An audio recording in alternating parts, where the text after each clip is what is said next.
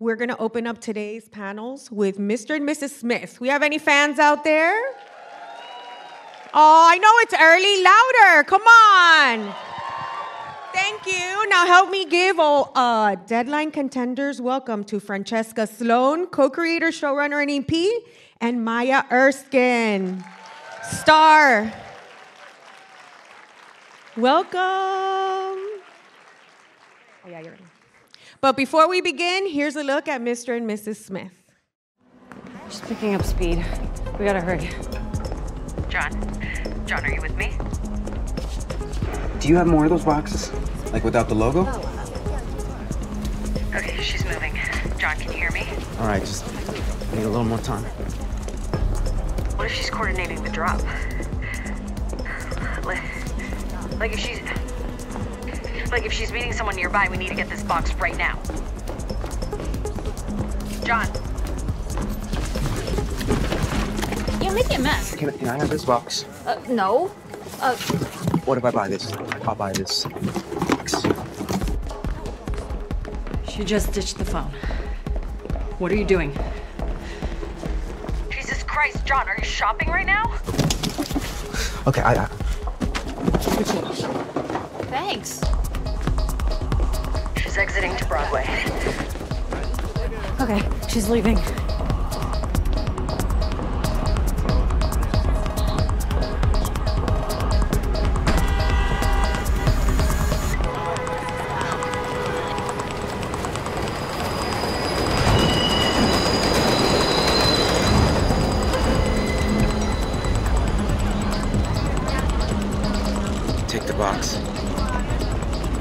Gonna jump to her left. Hey! My ah. daughter again. I'm a beat you. So sorry. I'm sorry. Sorry. What is wrong with you? Sorry. Francesca and Maya, thank you so much for joining us today. Now, this scene is such a great example of the chemistry, Maya, that you and Donald have. Um, no matter whether we were seeing fight scenes or love scenes or just how you guys were putting together strategy for a case, it, it's very intimate. Um, what can you share about how you and Donald found a place of trust to be able to film these scenes? Yeah, I mean, we spent a lot of time together. It was um, because it was just us two. And I think when we first met, we were filming the first episode. So we actually shot a bit in chronological order. So it, it helped with the chemistry because I think in the beginning, we're still getting to know each other. We don't quite trust each other. We, so we were developing our friendship in that first month of shooting. And I think it was in the subway scene uh, when we're writing it that like him and I started sharing secrets that were embarrassing about ourselves, and it like opened up a whole world of like, oh, good, we can say that in front of each other. You're not going to judge me. So then it it just we just completely bonded and and grew really close after that. Francesca, these are two, so yeah, we have Mr. and Mrs. Smith in name, but this is a complete reimagination. These are two very normal people who you don't expect to be able to kick that much ass. Pardon me. Um, what can you share about your insight and working with Donald in, in creating this completely different Mr. and Mrs. Smith?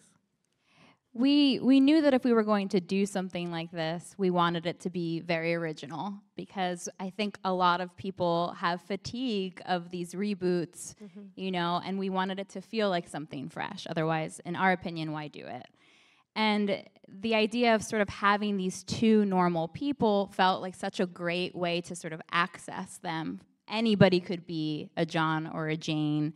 It sort of almost accidentally or subliminally became this mantra of our generation of this notion of a dream, especially after the pandemic. It's like, what would you do for that brownstone in New York with your partner in life? Um, how could we make somebody want to be a part of that? And so that was the direction that we went in. Maya, we know you so well from Pen 15. We have any Pen 15 fans in the house? Ow! Ow! this was something so different for you. Is that what attracted you to the role? Definitely. um, yeah, I mean, after a couple, five years or whatever, what felt like forever of wearing that wig, I was ready to have a different look. And um, yeah, no, I was attracted to this role and also really just the creators. I mean, for me, I was really excited about um, just jumping in as an actor and not having to wear all of the hats, but still feeling like I get to collaborate and and work with people that I really admire. And this role was uh, definitely a challenge for me in that at first I feel like I had to restrain a lot of my emotions or thoughts, and then I wouldn't be able to like explode until the end. And yeah, it was just really gratifying. Thank you.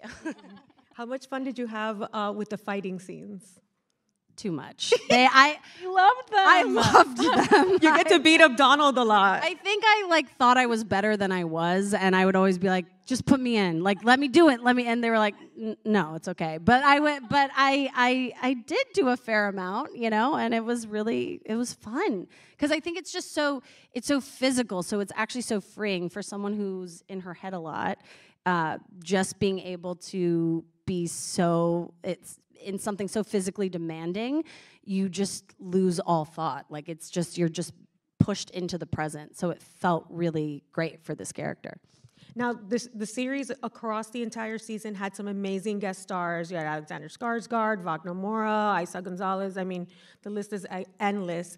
And I have to say, can I pick a favorite? Can I pick a favorite? Of course. Beverly Glover, Donald's mom, making her television debut, playing his mom. She needs the guest star Emmy uh, She's nomination. amazing. What can you share uh, on Pen 15? You got to work with your mom, and, and on Mr. and Mrs. Smith, you get to work with Donald's mom.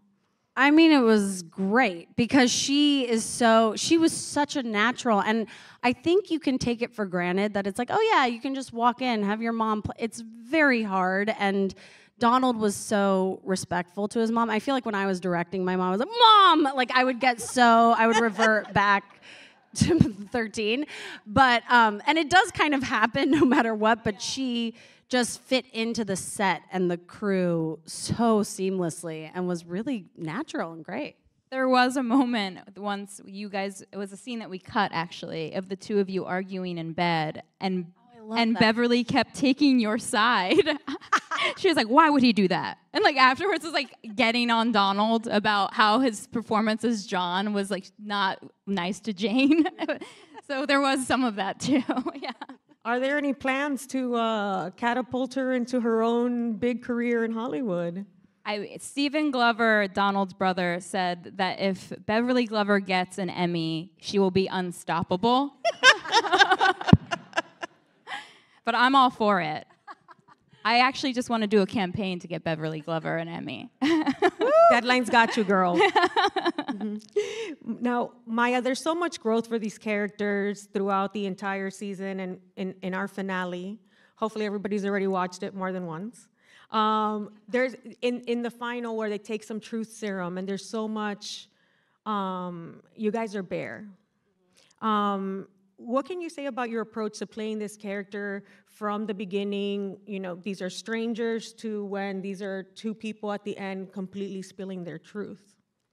Yeah, I feel like there was a lot of like modulating on set, like because it, it, you know, you're playing this cat and mouse game in the beginning, and you're trying not to reveal too much, but also reveal little, but also have chemistry. So it's this like funny balance that we were always trying to nail. I don't feel like, I, f- I think we reshot that scene right later on, but for the, the sorry, the se- not the true serum. I'm talking about in the pilot, the when they're in the diner or the restaurant. yeah, Um, but yeah, once we get to the truth serum, I mean, that just felt like I took a drug and got to like release all inhibition and everything. And it was really scary, but then it felt like, you know, my theater classes in college of like rolling on the floor and just sucking on each other's face and letting everything out. Um, so it was really just gratifying to do. But that's also the moment where it's that could cement like their entire future, and then we don't know what happens. Are they dead, alive, Francesca? I I know you even said this when we weren't on the stage that you were going to try to get this out of me, and I, I, it, I my answer is not going to be as satisfying as you want, but it is the truth. I think it's for three different kinds of people. It's if you are a glass half full person, you believe that they both get out alive. If you are a glass half empty person, they did. And and if you're sort of more of like a realistic person, you assume that maybe one of them is alive. So I think it really it's it's it depends on your psyche. So what do you think? Yeah. I think they got. I think that they got out alive, and Maya's ready to film season two with her baby bump. what do you guys say? More? We want season two. Are there any plans for more? We would we would love to do a season two. Um, Donald and I have said this a few times now, but the only way that we would want to do a season two in terms of the writing and the story is to like kick season one's ass and make it that much better. So we would love to. We really would. It just it depends on if the people want it. I mean, do we want it? Come on, louder! We want it. now, uh, cats are really having a moment. We used to always see dogs in TV and film, and we have Max, the, the cat character Max. What was it like working with uh, a feline co-star? I'm allergic to cats. Um, and I told Fran that at the beginning, and she was like, all right, we'll explore like maybe a ferret or something. I don't know. And then they're like, sorry, it's a cat. And so I got to like meet Chi Chi. That's Max's real name. And Chi Chi was really sweet and really talented. like, I don't know. It was great. Although we Chi Chi was also one day ran under the stage oh, yeah. And we and couldn't and we find- couldn't find Chi Chi. And I had initially had Max in like every scene. And after that incident, I was like, maybe Max is on the couch sometimes. yes. And we also had, I think we cut it out. I wish we had the outtake to show, but like, I clearly am not good with cats, and I was like trying to pick it up casually, and then it just started like crawling on my head and like clawing my eyes out, and it was cute. Yeah. Cats are divas. I mean, even the actors. Are-